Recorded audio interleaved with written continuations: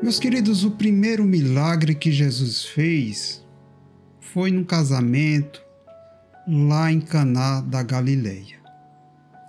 Esse, esse, essa história está narrada lá em João 2. E eu vou ler para vocês apenas o versículo 9 e o 10, que diz o seguinte: Quando o mestre de cerimônia provou a água, que agora era vinho, ele chamou o noivo e disse: Um anfitrião serve o melhor vinho primeiro. Disse ele: Mas você manteve até agora? Meus queridos, vocês devem saber que a produção de vinho normalmente é um processo muito moroso. Mas para fazer um bom vinho, um vinho de qualidade, demanda tempo. Esse vinho deve ficar envelhecendo por vários e vários anos. Quanto mais velho ele fica, mais saboroso ele é. Meu ponto aqui é que o primeiro milagre que Jesus realizou foi a produção de vinho a partir das águas, lá em Caná da Galiléia. Foi um milagre de acerela, aceleração. O que levaria muitos anos, Jesus Cristo acelerou e fez em um momento, em um instante. O que é que tem isso a ver com sua vida? Você pode estar pensando que vai demorar muitos anos para ficar curado. Aquela sua dívida vai passar muito tempo até que você consiga pagar. Os seus sonhos vão ser lentos na execução dele. Mas não descarte o Deus da aceleração. Ele tem favor. Ele cura ele avança, ele impulsiona para frente aquilo que ele acha que deve fazer. Deus pode pegar o que levaria 20 anos e, no instante, ele pode resolver.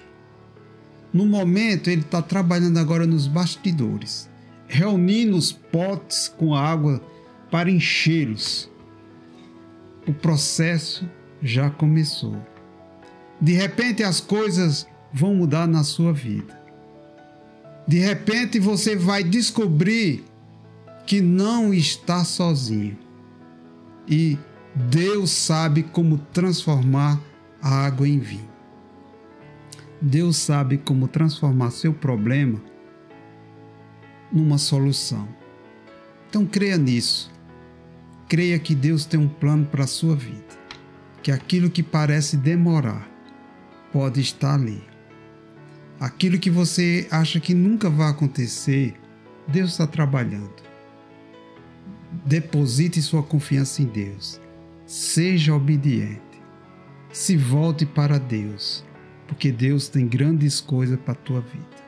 Mas isso só vai acontecer se você resolver obedecer os mandamentos de Deus, a viver uma vida digna de ser chamado filho de Deus.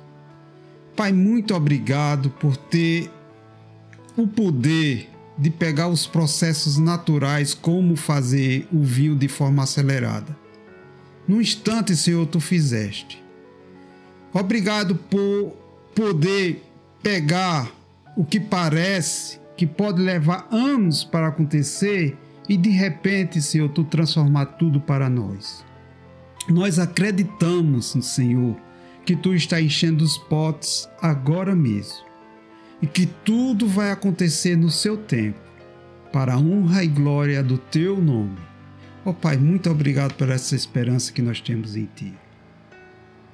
Amém. Meus queridos, essa mensagem falou profundamente ao meu coração. E eu espero que tenha falado ao seu coração. Sempre que eu vou fazer uma devocional, Deus tem que falar antes comigo para que eu possa ser canal de bênção na vida de outras pessoas. E você pode ser um canal de bênção fazendo a divulgação dessa mensagem. Você ficou até o final é porque Deus quis que você ouvisse essa mensagem e agora Ele quer que você compartilhe. Então, que Deus te abençoe e te dê um dia abençoado.